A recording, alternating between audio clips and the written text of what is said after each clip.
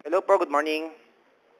Hello po, sir. Ah, sir, ah, dito po po ito kasi Sir Busita po. Yes po, Brother Matt po ito, sir. Hingi lang po sana ako ng tulong. Ay gawa ng nireger po yung truck po namin dito sa Mercury Binyan. Kayo po yung driver o operator po. Driver po ako, sir.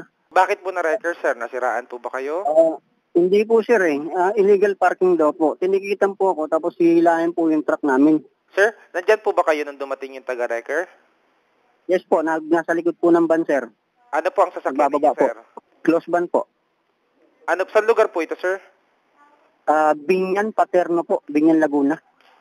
Binyan. Inila na ba kayo, sir? Hindi pa. Ah, bali naka-towing na po siya. Nandito po kami ngayon sa ano, location po nung pinagatakan po. Nasa location po kayo ng... Nang pinagparadahan ko po. Nakakabit na yung record, tama? Opo, opo. Magalang nyo nga itanong yung sa impounding kung pwedeng makausap, sabihin mo, office ni Congressman Busita. Sige po, sir. Eh, ano ko lang po. Pupuntahan ko lang Ano po po yung pangalan mo, sir? niya. Jerry.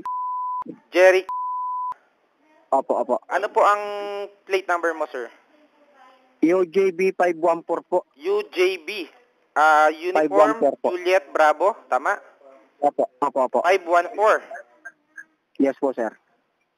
Close ban po ito, no? Opo, opo. Saan pong banda yan, sir? Ah, Binyan, Laguna, Paterno Street. Paterno Street.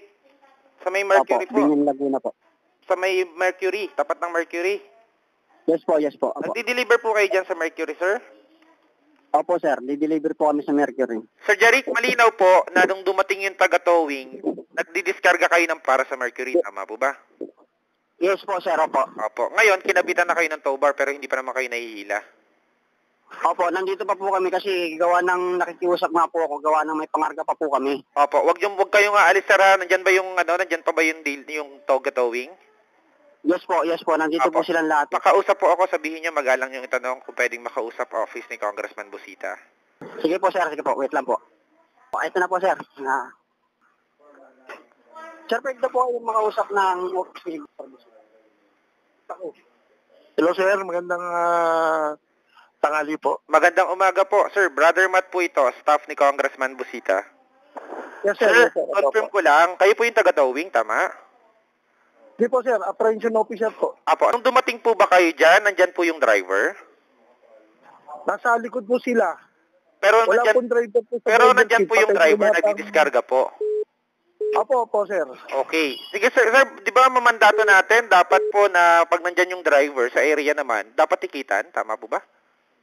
Yes sir, kaso po sir, yung kanila pong pinagparadaan ay one side parking po sir. Bali sila po ay naka double parking na po sila. Opo. Pero dapat po Opo. tikitan, then paalisin na lang po. Sir, hindi nga po kasi ito pong pinagbababaan po nila is bawal po. Yung pinagbababaan po lang ng kargamento. Hindi po Hmm, sila okay. pwedeng magbaba po dito. Kaya po, kinabitan na lang ng tow bar, tama po ba? Hindi po mala sir, kami muna po ang nag-apprehend bago po dumating po ang towing sir. mm Kasi dapat malinaw, bawal po talaga kung naka-illegal park po siya, pero dapat sir, tikitan. Yes sir, o nga po, kaya po kami, eh, sir, ang bali ang, ang ginawa po namin sir, yung, ah, yung ah, standing parking po nila is wala po. Patay po makina, hindi po nakaka-sad light, saka wala po doon sa driver seat po yung driver. Pero nasa likuran po siya, sir, nagdidiskarga. Opo sir, nandoon nga po sila. Sir. Violation nga po siya, kaya dapat po siyang matikitan kasi bawal po yun. Kinabitan na po ba ng tow bar?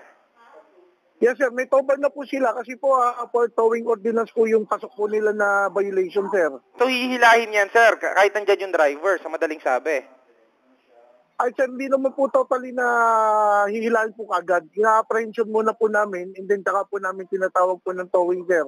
Pagka na nakumpleto na po sir yung dokumento sir. Ano po pangalan niyo, sir? Opo, opo.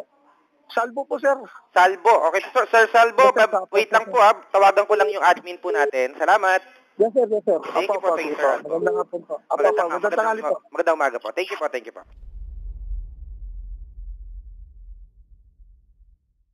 Madam, admin, good morning po. Good Hello morning. po. Hmm. Ma'am. Brother Matt po ulit ito, staff ni Congressman Apa. Budita. Madam, Apa, apa. may dumulog lang po dito sa office, sa ating ARSAP. Ano po, Mhm. isang truck driver. Bali, ang sinabi Mhm. po kasi, ah, nagdi-deliver sila ngayon sa may Mercury, Paterno Street, dyan sa may Binyan, Laguna. Apa, apa. Opo. Ngayon, di, si driver po tumulong din sa pagdadiskarga. Ngayon, may dumating po na enforcer natin, si Sir Albo. Hmm. Nakausap ko rin naman po siya. Sabi ko nga, Si Salvo. Ay, oo. kung naka-illegal park, tikitan po kasi violation talaga. Mm. Ano po? Hmm. Ang pinagtataka ko lang, ma'am, may dumating na towing, tas kinabitan ng tow bar kahit nandun yung driver. Totoo po. Opo, ma'am, sabi niya, base sa pag-uusap namin, kahit daw matikita na si driver, hihilahin pa rin yung truck kasi yun daw po yung nakasaad sa ah, inyong ah, ordinansa po sa pagtotow. Sabi ko nga po, bilang nandun po yung driver, di ba po, dapat tikitan po si driver, then paalisin po kasi bawal po yun, illegal parking po siya eh. Di po ba, ma'am?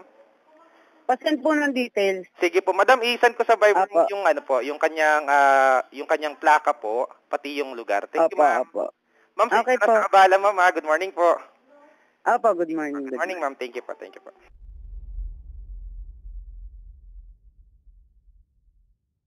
Hello po, Sir Jerry. Good morning.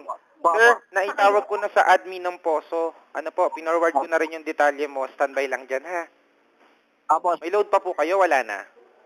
wala na po sir. Bali, nandito po ako sa loob ng Merger po. Kausap ko po yung manager ng Merger. Okay. Sige, sir. Standby lang at ah, papunta na, uh, ano na, tinawagan ko na yung admin nila na mag-iimbestiga. Ah, okay. Ano po?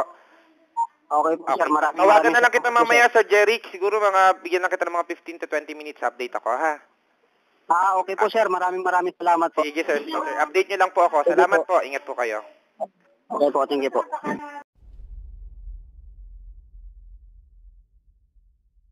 Hello po, Sir Jerry. Hello, Sir Jerry. Kamusta? magandang hapon po. Magandang tanghali po. Kamusta maraming po? maraming salamat po sir. Ah, bali, pinakawalan na rin po kami sir. Ay, okay. Pinigitan Buti lang po naman. ang illegal parking. Buti naman. Sir Jerry, next time, pag magdi-deliver kayo, ah, make Opo. sure na yung paparadahan mo ay safe. Kung kayo magbabaka sakali, sir, bilisan kasi baka matsempuhan ka na naman ulit. Ano po? Opo sir, bali ako naman po sir nasunod sa ano ay nag-utos lang po sa amin doon yung guardian ng ano ng Mercury. Pero next time, sir, pag ganyung senaryo, sabihin mo, sir, na bawal talaga. Ano po? Hanap kayo ng tamang parkingan at paradahan doon kayo magdiskarga. Ano po? Opo sir. Natikitan po kayo? Opo, opo. Tama lang po yun, sir. Sige po, Sir Jeric, mag-ingat po at tumawag lang kayo anytime. Salamat po sir. You po, you po. God bless po, God bless po. Bye-bye po.